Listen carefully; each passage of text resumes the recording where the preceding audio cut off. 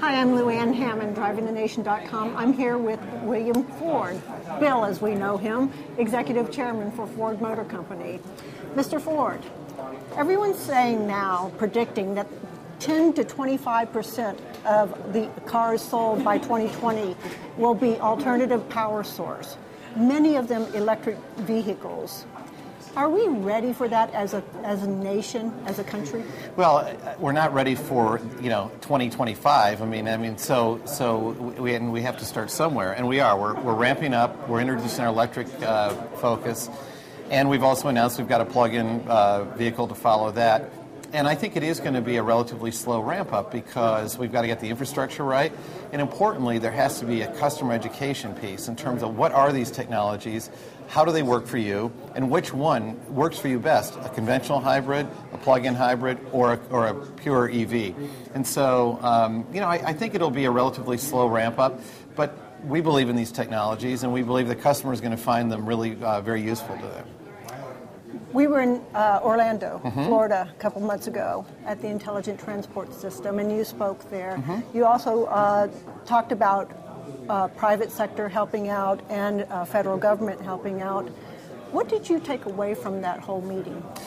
Well, there are a couple of key takeaways. First of all, there are a lot of really smart people uh, and a lot of really interesting companies working in the space of intelligent transportation. And I, I believe that we're going to see lots of um, attention around this space in the next five to ten years.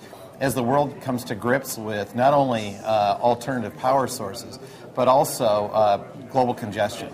And so, you know, all these companies and all these resources are going to have to be brought to bear to solve both of those issues. But they can't be done in a vacuum. They have to be done in partnership with, uh, with, with, governments as well. And so, um, you know, and I believe the people at that conference understood that and are ready to engage. But you've been doing this for a lot longer than most people. Mm-hmm. And is it because of the air pollution because of dependence on foreign oil. Why is it you care so much about it? Well, I care a lot about um, our Ford Motor Company and our reputation. And, uh, you know, we we really, um, you know, my great grandfather was known as somebody who looked to the future uh, and then anticipated that future and brought people what they wanted. And really, to me, this is an extension of that. Um, what is society going to need in the future? Uh, you know, I, it seemed to me when I joined out of college in 1979, it was a clean environment. There weren't many people that felt that way in our industry, but to me, that was something that absolutely had to happen. A lot of years of fighting, but we made it happen. And now I believe it's um, it's congestion, and how are we going to help ease that and, and make personal mobility something that, that people still are going to want and still are going to you know find very valuable. So to me, it's really about um, staying very true to our company's past by anticipating the future.